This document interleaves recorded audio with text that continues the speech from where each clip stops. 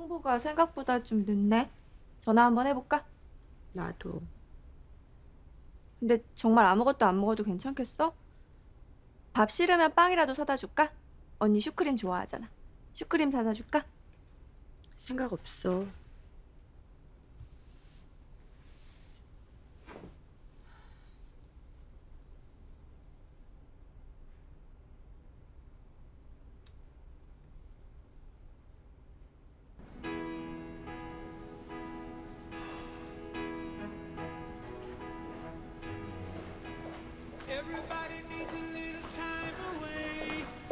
아 죄송합니다.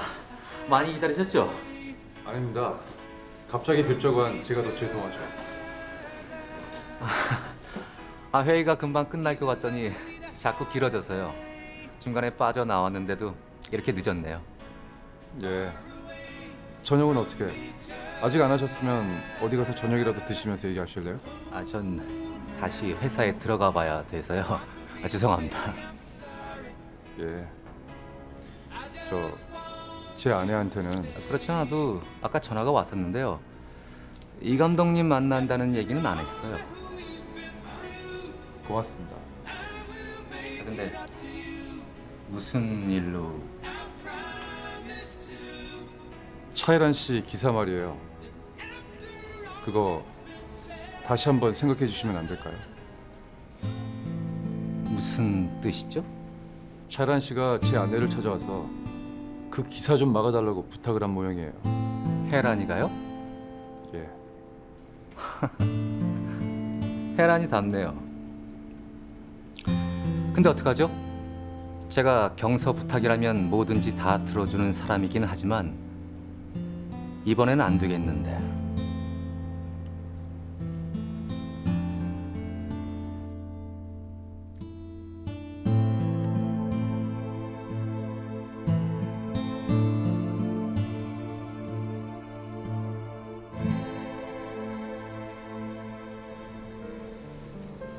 기자로서요 욕심 때문이 아니에요. 그 기사는 알고 있습니다. 오 기자가 어떤 기자인지 제 아내를 통해서 잘 알고 있습니다. 아, 그 정도는 아니고요. 아, 사실 저도 연예인 덕분에 밥 먹고 사는 사람 맞는데요. 이번엔 경우가 좀 다르다는 뜻이에요. 혜란이한텐 제가 얘기할게요. 경서뿐만 아니라 이 감독까지 찾아와서 부탁을 했지만 내가 거절했다고. 솔직히 말씀드리면 부탁이 아니라 협박이었어요. 그 기사를 막아주지 않으면 아, 이해가 잘 안 가네요. 이젠 혜란이가 경서한테 해코지할 만한 일은 없는 걸로 아는데.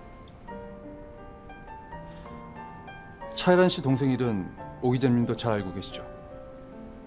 동생 일이라면 옛날에 해산포에서 있었던 예.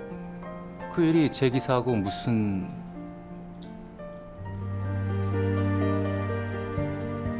혹시 설마 주홍글 씨에서 나왔던 얘기가 예. 차이란 씨 동생을 찌른 사람은 장 작가가 아니었어요.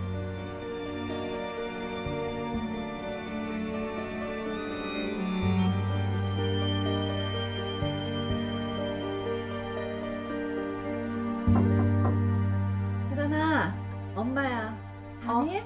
아니 들어와.